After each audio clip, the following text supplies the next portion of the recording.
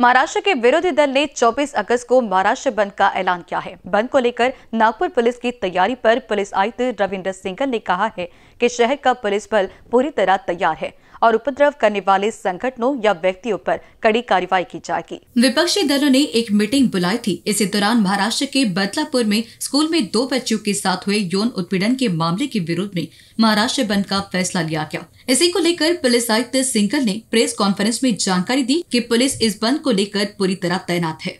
इस दौरान आयुक्त ने कहा कि यदि कोई कानून को हाथ में लेगा तो हम उस पर कड़क कार्रवाई करेंगे। उन्होंने कहा कि हमारे पास 9000 कर्मियों की फोर्स है और हम इस बंद के दौरान कोई अप्रिय घटना ना हो, इसके लिए हम संभालने के लिए सक्षम है। ये याच्यात म्हणजे P C to C P सगळे त्याच्यात हजर राहणार आहे. आम्ही सगळ्यांना मागेही सांगितलं होतं आणि आज संध्याकाळी आम्ही सगळ्यांशी परत बोलणार आहे. आमची सकाळी एक मीटिंग झालेली आहे. मान्य महासंचालक महोदयांनी तर पण सांगितलेलं आहे काही इन्स्ट्रक्शन दिलेली आहे.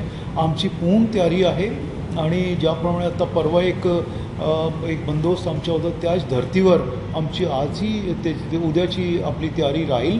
आणि कोणीही कायदा आपल्या हातात घेऊ नये हे आम्ही क्लिअरली सर्वांना सांगितलेलं आहे. आणि ते कसे काय करणार आहे तेही आम्ही ते त्यांना विचारलेलं आहे. आमचे जे स्पेशल थर्टी असतील किंवा इतर प्लेन फ्लोजचे जे कर्मचारी अधिकारी आहे त्यांनाही आम्ही सूचना दिलेली आहे की अगाऊ माहिती काढायची आणि कोणीही कायदा आपल्या हातात घेऊ नये आम्ही सगळ्यांना सांगितलं कॅमेरा पर्सन अखिलेश भारद्वाज के साथ अभिषेक पांसी की रिपोर्ट.